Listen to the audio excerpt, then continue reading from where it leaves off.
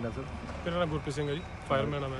ਹਾਂਜੀ ਮੈਂ ਕਿਹਾ ਅੱਜ ਅੱਗ ਦਾ ਤੁਹਾਨੂੰ ਕਿੰਨੇ ਕੁ ਵਜੇ ਦਾ ਪਤਾ ਲੱਗਾ? ਸਾਨੂੰ 7:30 ਵਜੇ ਦੀ ਸੂਚਨਾ ਮਿਲੀ ਹੈ ਕਿ ਸ਼ਹਿਰੀ ਮਹੱਲੇ ਕਬਾੜ ਦੀ ਦੁਕਾਨ ਤੇ ਅੱਗ ਲੱਗ ਗਈ ਹੈ ਠੀਕ ਹੈ ਜੀ। ਤੇ 5 ਮਿੰਟ ਤੋਂ ਬਾਅਦ 5 ਮਿੰਟ ਦੇ ਅੰਦਰ ਅੰਦਰ ਗੱਡੀ ਇੱਥੇ ਪਹੁੰਚ ਗਈ ਹੈ ਠੀਕ ਹੈ ਤੇ ਨਾਲ ਹੀ ਅੱਗ ਜ਼ਿਆਦਾ ਹੋਣ ਕਰਕੇ ਦੂਜੀ ਗੱਡੀ ਵੀ ਨਾਲ ਹੀ ਮੰਗਾ ਲਈ ਹੈ ਅੱਗ ਬਹੁਤ ਜ਼ਿਆਦਾ ਸੀ ਕਬਾੜ ਬਹੁਤ ਜ਼ਿਆਦਾ ਪਿਆ ਸੀ ਨਾਲ ਘਰਾਂ ਕਰਕੇ ਫਿਰ ਸਾਨੂੰ ਦੂਜੀ ਗੱਡੀ ਦਾ ਕਰਕੇ। ਅਸੀਂ ਕਾਫੀ ਹੱਦ ਤੱਕ ਕੰਟਰੋਲ ਕਰ ਲਿਆ ਹੈ। ਮਤਲਬ ਹੁਣ ਤੇ ਹੋ ਹੀ ਗਿਆ ਤਕਰੀਬਨ ਕੰਟਰੋਲ ਹੋ ਗਿਆ ਮਾੜਾ ਮੋਟੇ ਦਾ ਠੀਕ ਹੈ ਜੀ ਤੇ ਕਿੰਨੀ ਕੁ ਅੱਗ ਜਿਹੜੀ ਸੀਗੀ ਲੱਗੀ ਹੋਈ ਸੀਗੀ ਤੁਸੀਂ ਬਹੁਤ ਜ਼ਿਆਦਾ ਸੀ ਅੱਗ ਸਾਰਾ ਕਬਾੜ ਸੀ ਕਾਫੀ ਅੱਗ ਸੀ। ਠੀਕ ਹੈ ਬਹੁਤ ਦੂਰ ਦੂਰ ਤੱਕ ਅਹ, ਦਾ ਧੂਆਂ ਵੇਖ ਰਿਹਾ ਸੀ ਅੱਗ ਬਹੁਤ ਜ਼ਿਆਦਾ ਸੀ। ਤੇ ਜਾਨੀ ਨੁਕਸਾਨ ਤਾਂ ਨਹੀਂ ਹੋਇਆ ਨਹੀਂ ਜਾਨੀ ਨੁਕਸਾਨ ਕੋਈ ਨਹੀਂ ਹੈਗਾ ਜੀ। ਫਾਇਰ ਦਾ ਸਿਸਟਮ ਇਹਨਾਂ ਕੋਲ ਕੋਈ ਨਹੀਂ ਸੀਗਾ ਕਬਾੜ ਵਾਲਿਆਂ ਕੋਲ? ਕੁਝ ਨਹੀਂ ਇਹਨਾਂ ਕੋਲ ਕੁਝ ਨਹੀਂ ਹੈਗਾ ਜੀ। ਇਹਨਾਂ ਕੋਲ ਕੁਛ ਨਾ ਇਹਨਾਂ ਕੋਲ ਕੁਝ ਨਹੀਂ ਹੈਗਾ। ਕਾਰਨ ਪਤਾ ਲੱਗਾ ਸਰ ਕਿਵੇਂ ਲੱਗੇ? ਕਾਰਨ ਨਹੀਂ ਪਤਾ ਲੱਗ ਸਕਿਆ ਕਿਉਂ ਲੱਗੀ।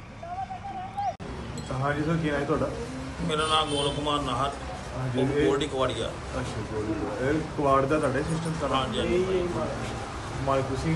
ਹਾਂਜੀ ਮਾਲਕ ਮੈਂ। ਕਿੰਨੇ ਕੁ ਵਜੇ ਅੱਗ ਲੱਗੀ ਸੀ? ਜੀ ਸਾਢੇ ਕੁ ਚਾਰ ਵਜੇ ਤੇ ਮੈਂ ਬਾਥਰੂਮ ਕਰਨ ਉੱਠਿਆ ਤਾਂ ਮੈਂ ਕੋਈ ਗੱਲ ਨਹੀਂ ਸੀ ਕੋਈ ਬਾਤ ਨਹੀਂ। ਮੈਂ ਆਪਣੇ ਛੇੜ ਦੇ ਉੱਤੇ ਉਦਮ ਦਾ ਗ੍ਰਿਲ ਤੇ ਖੜਾ ਹੋ ਕੇ ਤੇ ਜਗ੍ਹਾ ਨੂੰ ਆ ਮਾਰੀ। ਮੈਂ ਕਿਹਾ ਦੇਖਾਂ ਕੁਝ ਮਾਲ ਮੂਲ ਤਾਂ ਨਹੀਂ ਨਾਥ ਨੇ ਥੱਲੇ ਥੱਲੇ ਡਿੱਗਿਆ। ਵੀ ਛੱਡਾ ਤੋਂ ਨੇਰੀ ਦੇ ਥੱਲੇ ਆਣਾ ਕੋਈ ਗੱਲ ਬਾਤ ਨਹੀਂ। ਤੇ ਕੁੱਤਾ ਮੇਰਾ ਬਾਹਰ ਫਿਰ ਰਹਿੰਦਾ ਉਹਨੂੰ ਸਾਰਾ ਦੱਸ ਦਿੰਦਾ ਬੋਲਦਾ ਰਹਿੰਦਾ ਜਦ ਚੀਕਾ ਮਾਰਦਾ ਰਹਿੰਦਾ। ਉਹਦਾ ਜੇ ਥੱਲੇ ਬਾਈ ਜਾਂ ਛੱਡ ਤੋਂ ਥੋੜੇ ਸਮਾਲ ਡੇਗਦੇ ਕਿਸੇ ਮਰਾਸੀ ਨੂੰ ਨਹੀਂ ਚੱਕਰ ਦਿੰਦਾ। ਲੰਘਦੇ ਵੜਦੇ।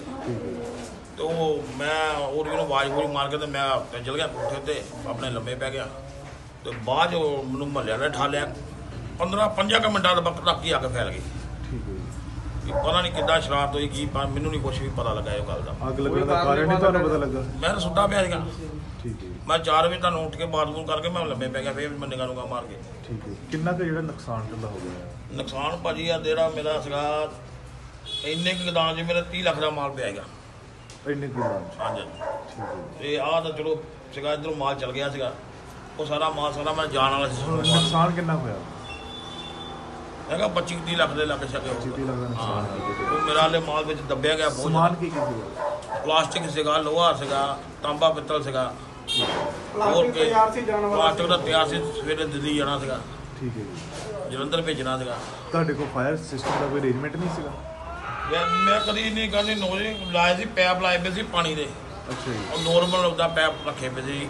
ਵੀ ਚਲੋ ਇਹ ਕਿਹੜਾ ਇੱਥੇ ਕਿਹੜਾ ਹੁੰਦੇ ਹੁੰਦੀ ਗੱਲਬਾਤ ਠੀਕ ਹੈ। ਕਦੀ ਹੋਇਆ ਨਹੀਂ ਕੋਈ ਰੱਬ ਯਕਦਮ ਇੰਨੀ ਫੈਲ ਗਈ। ਠੀਕ ਹੈ ਜੀ। ਹਾਂਜੀ। ਠੀਕ ਹੈ